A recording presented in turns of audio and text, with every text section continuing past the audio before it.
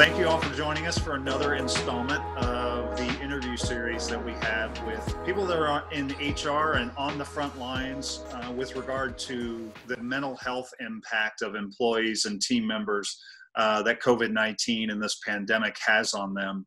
Uh, I have with me today Peter Hendrixson. He's with an organization called Integrated Behavioral Health. And they are, if you think of an EAP or an employee assistance program, they are that, but so much more and beyond. They do a lot of uh, population health management and things beyond a standard EAP. And I think he'll do a lot to bring some ideas uh, to this conversation because he's on the front lines every day. One of the things I want to get out of the way first, it's been reported to me that he's my doppelganger or I am his, however you want to look at it. So, Peter, if you just look to your left very quickly, just go ahead and look to your left, and I'll do the same. And so we can get all the views. You can look back now. We get all the angles out of the way and get that conversation done and behind us, and we'll move on. So, Peter, thanks so much for being here today. Hey, Ken, thanks very much. And that's why I'm wearing the headset to differentiate us a little bit so people will be less confused. I was I was concerned that if we were in the same color, I would have to change. So I'm, I'm glad to hear that. So let's just jump right into the questions that we've been asking HR leaders, and, and this will come from your angle as, like I said, being on the front lines of these mental health challenges that employees are facing. How, just whether it's employees or organizations that you're working with or your own organization, how has the crisis changed just the day to day operations and the, and the routine and activities of your workforces? Sure. So that's a perfect question. And the answer is the same, really, for our organization and the clients that we serve, because everybody, for the most part, uh, is now working from home. So we went through a huge um, IT and HR lift with getting all of our 145 or so employees um, uh, working from home and setting up their workstations. And of course, we have the same questions from our clients is how to manage that as best possible.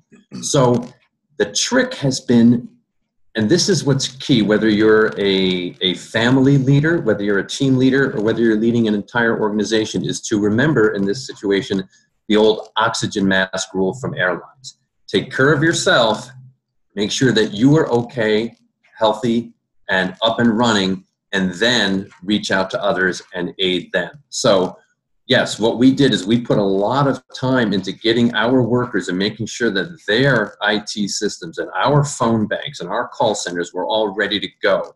And then we said, okay, now we need to really jump into the fray and uh, and serve our customers even harder. Doesn't mean that we were not taking calls, and it's mean that we put a real effort into making sure we were prepared to do that that's that's a big part of the approach. Yeah, that's great advice. I love the idea of the the airline analogy and taking care of yourselves first. I mean, not only as an organization, but just as individuals, we need to do that, right? Look look out for ourselves uh, in sure. this time of challenge, and then and then look outward. So I mentioned a little bit, and I'll let you expand here about your organization as an employee assistance program and beyond.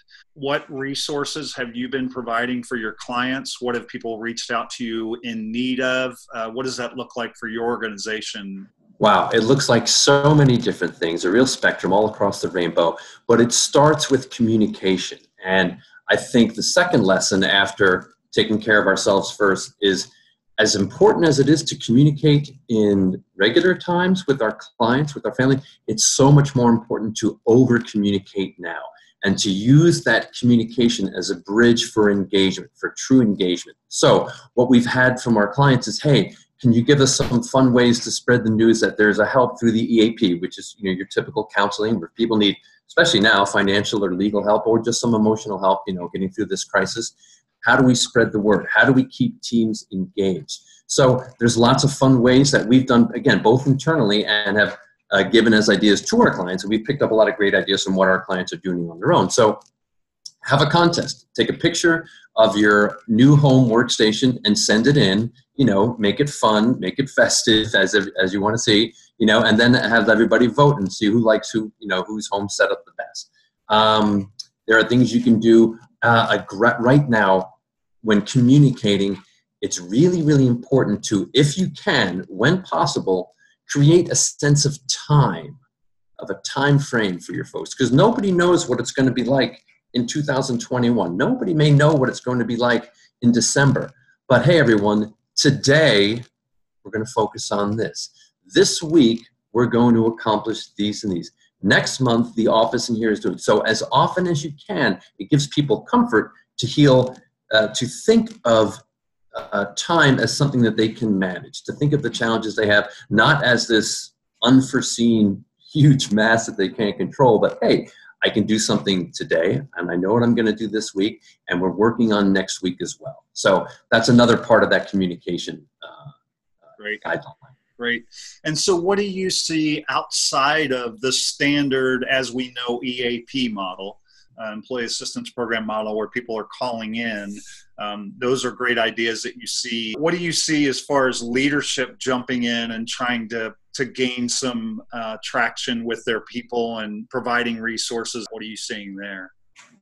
Again, so there's so many things that can be done as far as communicating goes. So um, keeping to schedules and setting standard meeting times and making sure that the message of what we're doing. So what we do is, is, is the same kind of thing that you're, you're providing for your clients right here, is we have scheduled webinars that we record and share. Again, as we all know, this breaks on an almost hourly or daily, weekly basis. And whenever there's a new development, we try to make sure that we package that news in, a, in an informative, non-threatening way and then send it out to all of our clients. And what we've done at ibh is and i know other organizations have done this we've made this information available to to anyone who wants to go to our website. It's no it's not limited to just our clients. And a lot again a lot of other organizations have done the same thing and i think that's wonderful. What's that website very quickly? How do they get to your website? Ibhsolutions.com okay go right ahead. Thank you. Sure. Um, so then taking that information out there and there's a lot of a lot of things that we're doing on the digital side. So on the text-based coaching side as opposed to face to face which now is of course very problematic as opposed to telephonic which some people aren't comfortable with. But we're we've we've engaged several different apps and platforms that we can engage our clients and our clients members can engage cognitive behavioral therapy which is the best form of therapy to help people deal with crises like these and uh, via uh, what we call asynchronous text-based coaching. So in other words, situation arises in the morning, um, you send a text uh, to your coach and say, hey, this is what happened again. This is what I, I felt. I felt like um, my spouse or my boss was demeaning me or not listening to me, blah, blah, blah. And then their coach will respond later in the day at a, at a prearranged time, say, yeah, I'm best between four and six in the afternoon. Say, okay, understood. And that is absolutely a stressor. Um, here are some techniques we talked about handling. Whatever that dialogue is, that coaching, that cognitive behavioral therapy dialogue is, instead of having it take uh, place in a counselor or a doctor's office face to face, it's something they can have via their um, device, which is maybe the way that they feel most comfortable communicating. So we're seeing a lot of that. And as I'm sure you know, some of the HIPAA laws about um, and HIPAA and fees associated with telehealth have been waived for this circumstance as well. Yep. So it makes that a lot easier.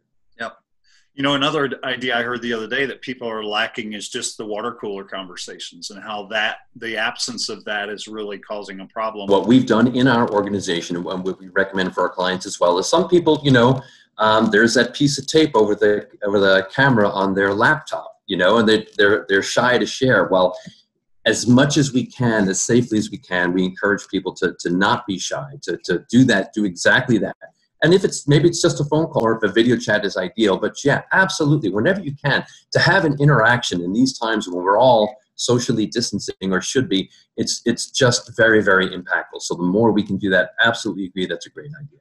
That's great. That's great. Well, those are all great ideas, and I really appreciate you sharing those. People are starving for opportunities to be there for their people right now. I mean, business leaders and owners are dealing with so much coming at them with new legislation and all of that. But when they look inward to their people, you can hear this common theme of I have to take care of my folks and make sure that they're uh, engaged and that they're in a good place. And so some of the things you mentioned today will be very helpful in helping them navigate that. Thank you so much for taking the time. I sure appreciate it. Hey, Ken, it was my pleasure. Thank you. Okay. Have a great day. Give you one more look. Thanks.